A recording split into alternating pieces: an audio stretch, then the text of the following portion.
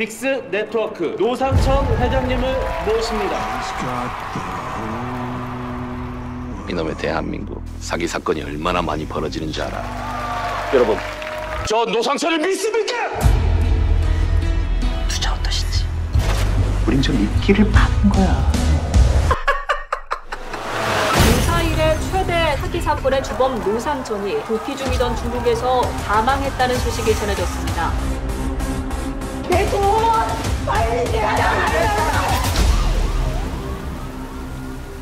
너 현장에 좀 가야겠다. 전직 로펌 출신이잖아. 그런 사람이 왜 형사라고 했죠? 노상천이 죽이러 왔어요.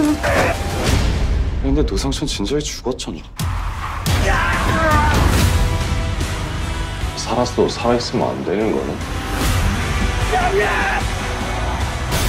니네랑 같은 배 탈래. 노상천의 이름이 왜 자꾸 튀어나오는지 피해자 단체는 알고 있을지도 몰라요.